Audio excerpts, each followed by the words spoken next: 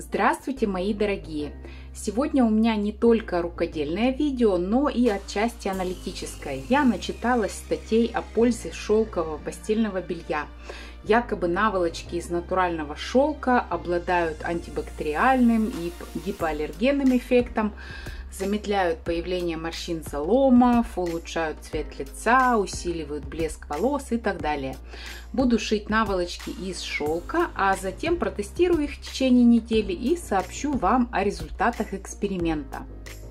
Я купила 3 метра натурального шелка разных цветов по цвету моего постельного белья. Ширина ткани метр тридцать пять и плотность 110 грамм на квадратный метр. Это шелк туса. Он не совсем гладкий и в нем меньше блеска. Можно было бы купить уже готовые наволочки, но цены меня поставили в тупик. Есть наволочки дорогие, а есть те, которые стоят меньше, чем а, стоимость шелка, который будет затрачен на пошив наволочки. Это значит, что есть риск купить подделку под видом шелка. Смотрите, эти ткани я покупала в хороших магазинах в Дубае и в Турции. Они были заявлены как натуральный шелк, и цена была соответствующая. Меня не смущает их матовый э, внешний вид. Шелк может быть не только гладким и блестящим, как шелк э, Мальбери, скажем, но и матовым, как этот шелк Туса. Ткани эти лежали у меня несколько лет, я их берегла, ну, как обычно, для особого случая, и даже не сомневалась, что это шелк. Но вчера, дорогие мои, меня постигло ужасное разочарование. Все это, вот эти вот ткани оказались подделкой. Я даже не ожидала, честно говоря, потому что, ну, повторюсь, я покупала в очень приличных магазинах, и цена была высокая. Повторю сейчас на камеру свои эксперименты. Определить подлинность шелка можно просто. Нужно его поджечь. Вот у меня два кусочка я отрезала того шелка, который я покупала вчера. А вот тот, который был куплен уже давно. Я вот так вот беру его, чтобы не обжечься. И поджигаем. Вот. Натуральный шелк, он даже не горит.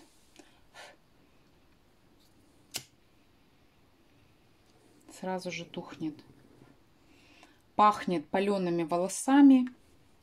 И вот то, что получилось, смотрите, оно растирается очень легко в пепел. Но запах очень характерный. То есть это говорит о том, что это натуральный шелк. Еще один кусочек подожгу. То же самое. Он даже не горит, он просто вот как бы обугливается. У меня стоят э, датчики дыма. Как бы они не сработали сейчас здесь.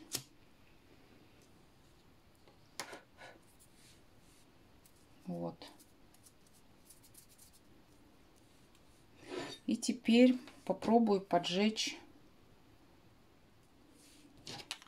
тот якобы шелк кавычках.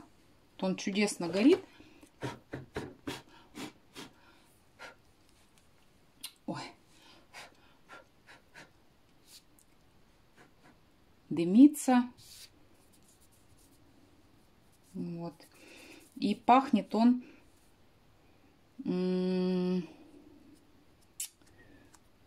не то чтобы волосами, да, вот палеными, а такой запах, ну, даже не совсем синтетика, наверное, это смесь шелк с чем-то. То есть вот он тоже растирается. Я так подозреваю, что это шелк с хлопком. Потому что так как он чудесно горел, ну, горит э, э бумага таким образом, да, дерево, вот то есть какие-то тоже натуральные материалы. То есть эта ткань, вот эта вот полосатая, по крайней мере, она не синтетика. Синтетика а, при поджигании дает а, такой катышек, сгусток твердый.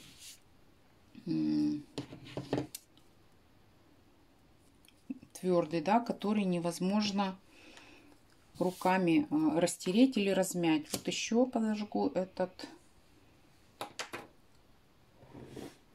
Ну, тоже этот вот горит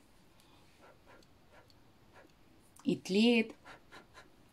Ой, надо потушить, иначе сейчас у меня сработает. Ну, этот пахнет прямо синтетикой. Вот он. Синтетикой пахнет. Тем не менее, он вот тоже сгорел без катышка. Не знаю, что это за ткань, но не шелк это точно, потому что волосами жженными он не пахнет. После такого эксперимента доверие к продавцам у меня пропало. И покупать готовые наволочки у меня желания тоже нет. Э, как я их проверю? Не буду же я наволочку поджигать, да, или, ну, отрезать от нее тоже что-то, я думаю, что не получится. Скорее всего, там припуски минимальные. Поэтому считаю, что лучше купить ткань, проверить ее и зная, что это действительно шелк, шить какое-либо изделие. Не обязательно наволочки, это может быть и одежда какая-то. Тем более, что тканей сегодня большой выбор. Это и шелковый шифон, и сатин из шелка, и мебельные шелковые плотные ткани с различными видами переплетений и рисунками. Поскольку шелк может давать усадку, я его постираю. Ну, постираю, это громко сказано. Можно, конечно, закинуть в машинку на режим шелк или бережная стирка. Но я вручную пожулькаю его немножко со средством для деликатной стирки. А, прополощу и затем, когда он высохнет, отутюжу не сильно нагретым утюгом на двоечке. Я сейчас нахожусь в процессе утюжки шелка, и я не могу понять, то ли я его пересушила, то ли он такой должен быть. Но я с таким шелком еще не работала. Я его постирала а, без кондиционера, повесила сушиться в расправленном виде. И как вы видите, вот он у меня высох, весь такой вот жульканный. И утюгом это все не разглаживается. Мне приходится его а, обильно увлажнять. Прямо, ну вот совсем он мокрый. И утюг мне приходится держать очень долго. Ну, вот так вот я вожу долго на одном месте. Для того, чтобы эти морщины разутюжились. Если вот так вот просто, да, проводить, ну или по-сухому, они не уходят, эти морщины. Вот эти вот складки, заломы все.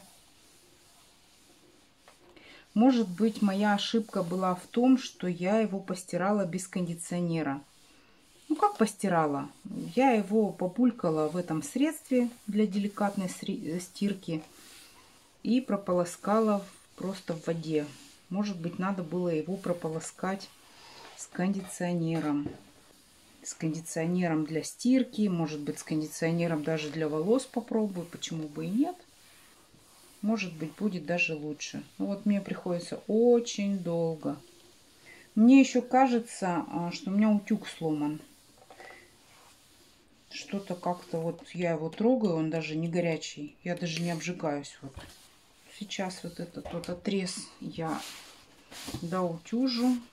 Вот, видите, смотрите, ну вот в каком состоянии, да?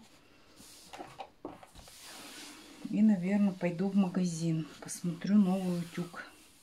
Ткани подготовлены к раскрою. Шить я буду две наволочки на молнии, желтую и зеленую. Молнии вот я тоже подготовила. Зеленая у меня немножко отличается по цвету, но ничего страшного. Молнии я тоже отпарила утюгом потому что некоторые молнии после стирки, ну, бывает, стягивает или они волнами идут. А серую наволочку я буду шить запахом. Самый простой вариант наволочки. Сейчас я накидаю схему, что же мне нужно выкроить, так как материал дорогой и подушка у меня нестандартная 40 на 75 сантиметров. Вот моя подушка 40 на 75. Ну, я схематично. Кроить я буду одно полотно шить из одного полотна. Здесь у меня будет сгиб. Я его обозначу пунктиром. То есть вот такое у меня будет полотно со сгибом. Здесь 40, здесь 40, здесь 75. Здесь я добавлю по одному сантиметру на припуске на швы. Здесь у меня получается 77. Здесь я добавлю 3 сантиметра припуск на шов, там где будет втачена молния, и в эту сторону я добавлю 1 сантиметр. И у меня в сумме получается 84 сантиметра. То есть мне нужно будет выкроить треуг... прямоугольник 77 на 84. Наволочка первая у меня выкроена. Ну, собственно, прямоугольник большой. Молния я не сказала, она у меня чуть короче. Наволочка в готовом виде у меня 75 сантиметров. Молнию я отрезала, она у меня рулонная, 65 сантиметров я отрезала. Чтобы у меня здесь, э, почему я ее короче сделала, да, чтобы здесь молния доходила не до конца. Иначе вот здесь, когда я буду стачивать, будет утолщение, молния будет перегибаться. Поэтому я ее покороче сделала. Сейчас первым делом нужно будет вот эти срезы обработать. Я их обработаю на оверлоке. У кого нет оверлока, можно зигзагом на машинке. Готово. Теперь смотрите, на одной части я делала припуск 3 сантиметра, на другой 1 сантиметр. Вот у меня 3 сантиметра я отмечаю.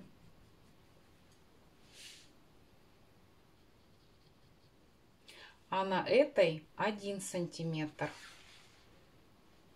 Вот таким образом мне надо совместить вот эти вот меточки, да, 3 и 1 с этой и с этой стороны. И я буду прокладывать строчку даже не одну, а три строчки. Я сейчас все выровняю здесь, сколю булавками. Первая строчка, вернее первые две. Вот смотрите, молнию, когда кладем, ну, ровненько ее отцентровать, да, чтобы равное расстояние было с двух сторон. Первая строчка у меня пойдет совершенно нормальная.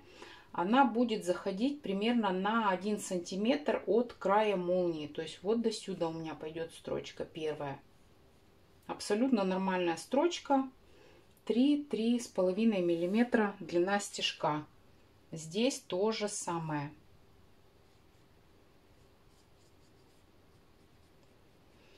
Когда я эти две строчки сделаю, я между ними проложу еще одну строчку с крупным стежком. У меня а, можно сделать максимум 6 миллиметров стежок. А, то есть ставьте на максимум для того, чтобы это можно было потом заутюжить аккуратненько, вот эти края. Потом эта строчка, вот эта вот, она удаляется. Иголку я поставила номер 80, абсолютно новую, что рекомендую сделать и вам. Если у вас иголка будет ну, не совсем острая, то на шелке могут получиться затяжки. То есть нитки будут туда иголкой протаскиваться, будет некрасиво. Значит, э, когда шьем, так, вот я ставлю 3 э, миллиметра длину стежка. Ставим закрепку в начале.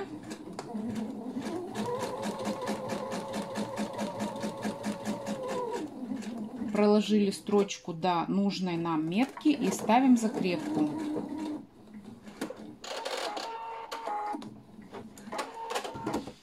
То же самое делаем с другой стороны.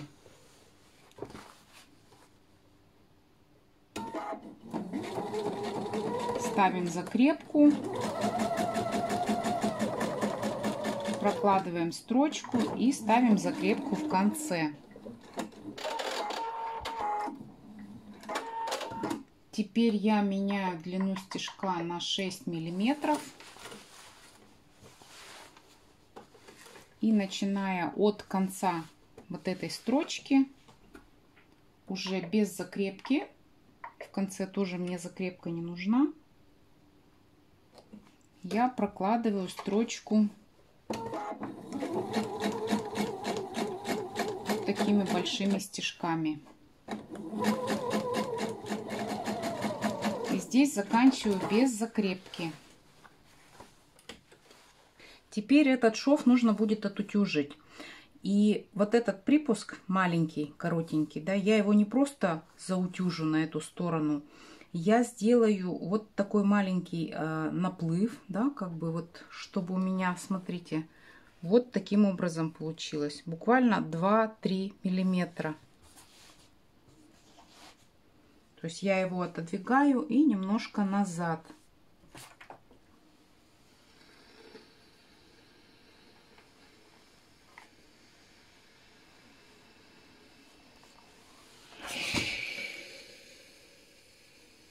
Вот, смотрите.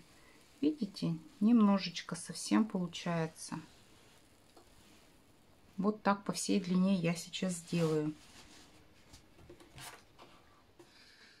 Теперь этот средний шов, который выполнен крупными стежками, нужно удалить. Вот, либо нитку просто выдернуть, либо вот таким образом. Когда строчка удалена, вот так у нас получается. Теперь нужно сюда приложить молнию. Можно ее расстегнуть. Вот здесь закрепочка, смотрите. Ну вот один сантиметр. Вот эту вот а, большой этот а, припуск, его нужно отогнуть. Приложить молнию. Можно прямо зубчиками впритык, можно отступить пару миллиметров, не так принципиально здесь. Я поставила лапку для притачивания молнии и начинаю очень аккуратно, чтобы не прихватить вот этот припуск. Особенно там, где он уже стачен с другой стороной. Ну вот с этой, да. Здесь-то попроще, а вот здесь вот этот сантиметр очень надо быть аккуратным закрепка. И поехали. Я ничего не натягиваю, ни молнию, ни ткань. Вот аккуратно я ее просто прикладываю на равном расстоянии от зубчиков.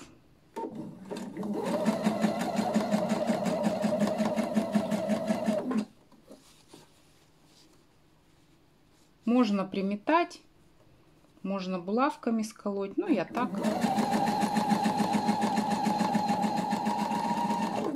Здесь в конце, смотрите, то же самое. Очень аккуратно, чтобы вот этот припуск не прихватить. Вот, видите, смотрите. Теперь смотрите, вот этот припуск маленький, мы когда его заутюживали, мы делали небольшой э, напуск, нахлест, так сказать, да, пару миллиметров. Значит, вот эту верхнюю часть нам нужно на эти пару миллиметров сюда завести. Вот так.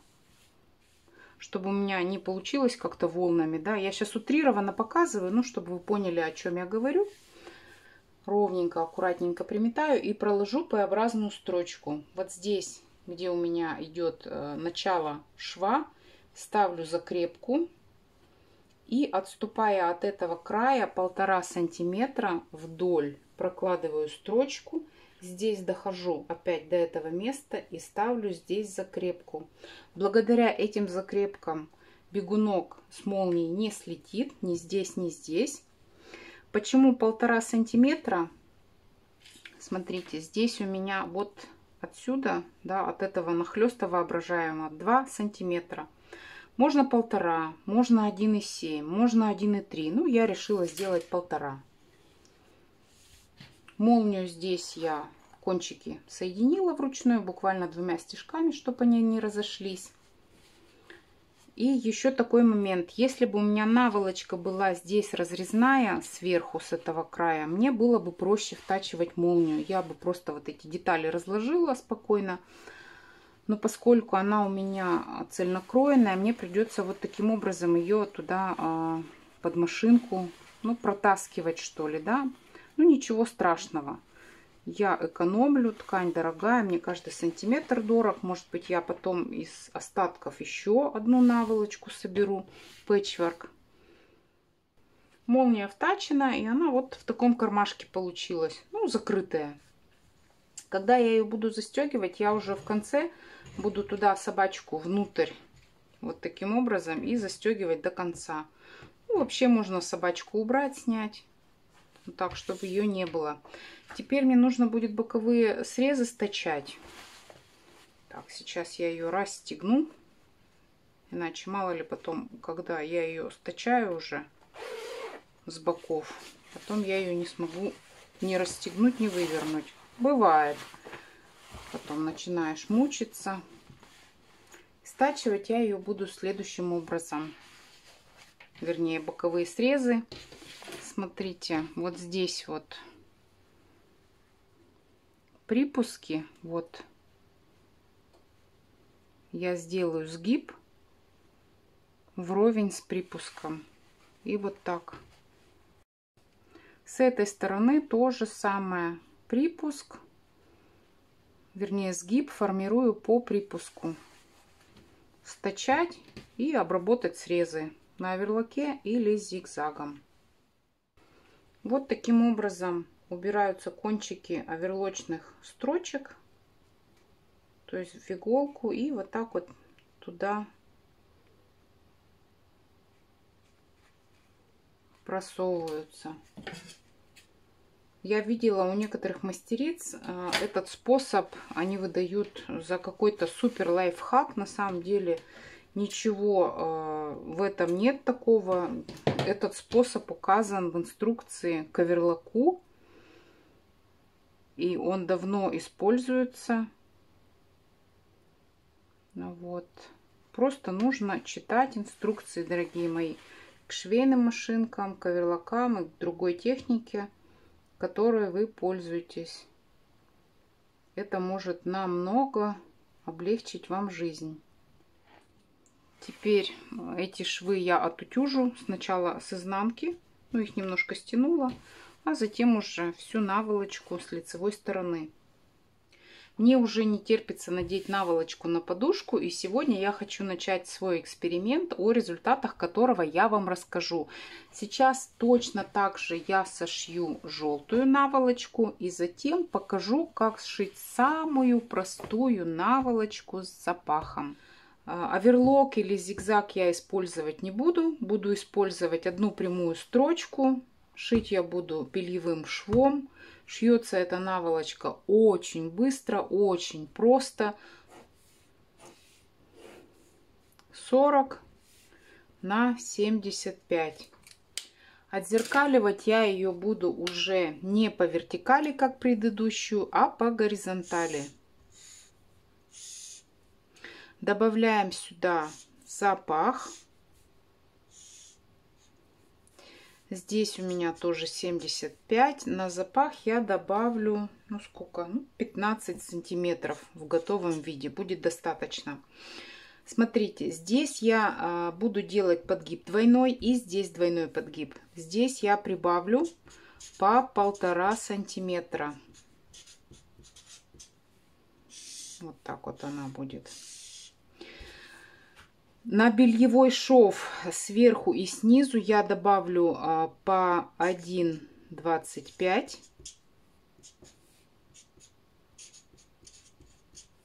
И смотрите, здесь у меня получается 75, 75 и 15.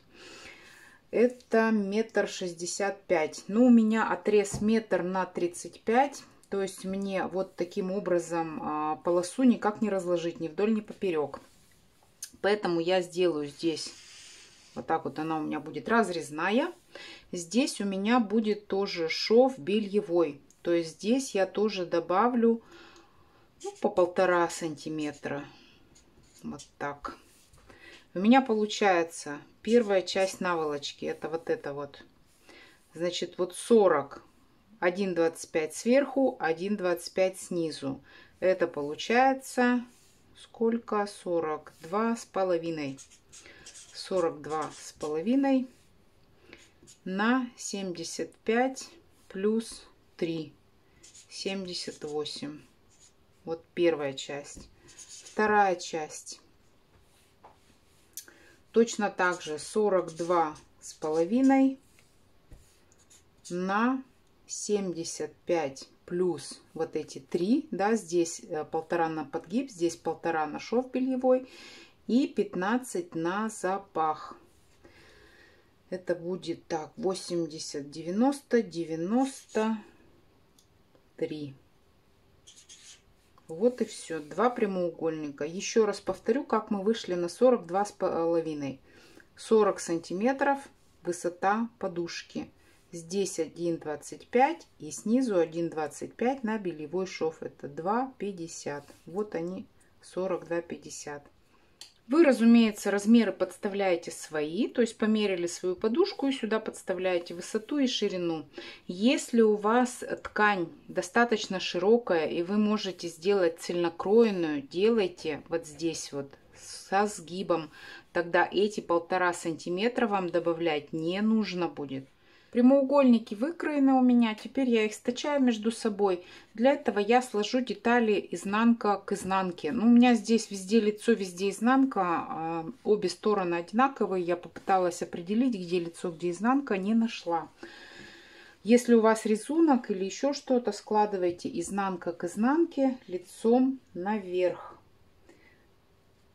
выравниваем срезы и прокладываем строчку на расстоянии 0,3-0,4 от края.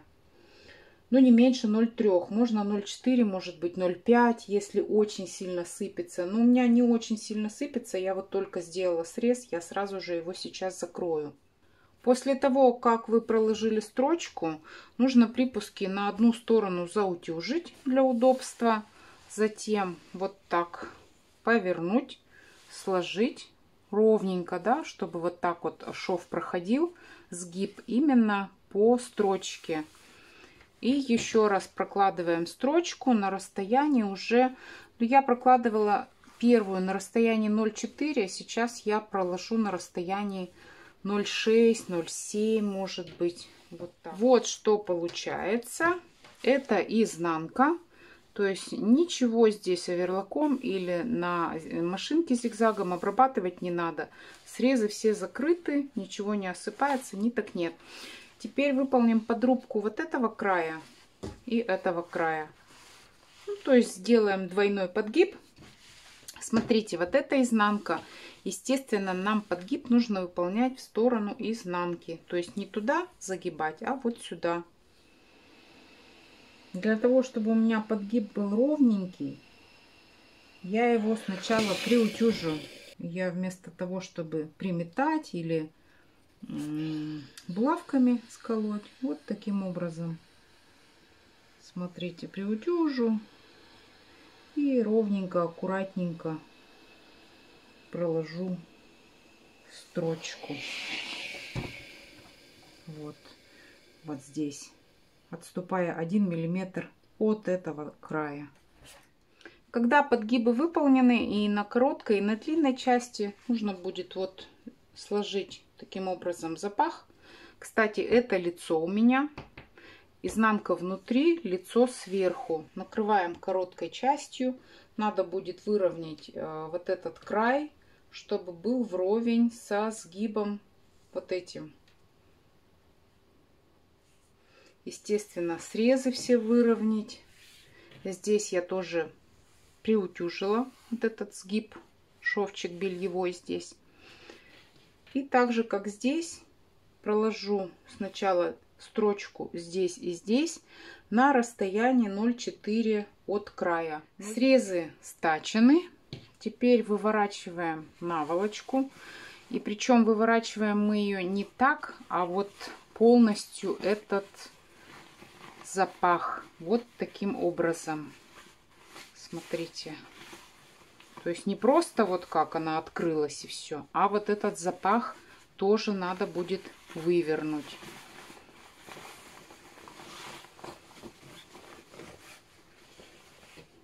То есть, смотрите, получается вот так с изнанки. Выправить уголочки. Где мой инструмент?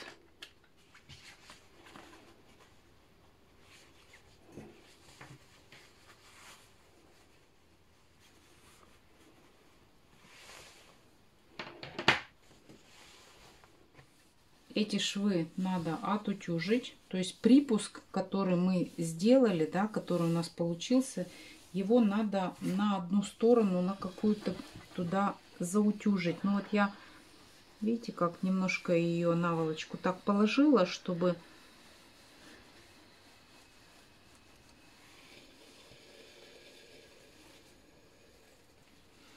И теперь вот так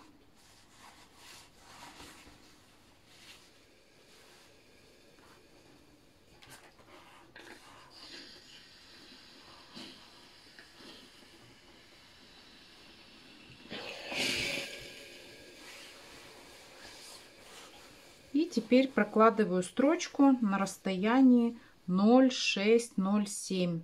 С другой стороны то же самое я сделаю. Готово. Теперь расскажу о результатах тестирования этих наволочек. Первую ночь я провела на этой подушке. Я решила желтую наволочку надеть. Подушка, как вы видите, у меня не совсем ровная. Там наполнитель, ну, такими шариками. И что я хочу сказать. Спала я очень плохо. Но не из-за того, что наволочка какая-то не та и не такая, да, или подушка неудобная. Подушка это моя родная, я на ней уже много лет сплю. Я лежала и всю ночь прислушивалась к своим ощущениям как у меня лицо, не чешется ли, не примялось ли, как у меня волосы и так далее. То есть, ну, из-за этого я плохо спала, но тем не менее, когда я встала утром, я заметила одну вещь, что у меня укладка на голове осталась точно такая же, как была накануне вечером бывает, э, ложишься, да, вот как-то лежишь, может быть, долго на одной стороне, где-то примнется там, где-то поднимется, утром встаешь, э, какой-то однобокий, да, приходится в порядок прическу приводить. А тут я утром встала, расчесалась, у меня как было вчера, так есть сегодня. В принципе, вот что меня порадовало. Я посмотрела, а, как в целях гигиены использовать эти наволочки. Я решила, буду спать два дня на одной стороне, два дня на другой стороне и затем менять наволочку. Доброе утро, мои дорогие! Не пугайтесь, пожалуйста, я без макияжа, без всего, я только что из постели, я еще даже не переодевалась, не пила ни кофе, ни чай. Вот включила камеру и спешу с вами поделиться а, промежуточными результатами четвертого дня моего эксперимента. Насчет состояния лица и кожи я говорить ничего не буду, потому что, мне кажется, это будет чисто субъективное мое мнение. Я хочу, чтобы мне об этом сказали мои друзья, подруги, родственники, моя семья, если они вообще это заметят. Но я покажу вам свои волосы, вернее, то, как они блестят. Смотрите.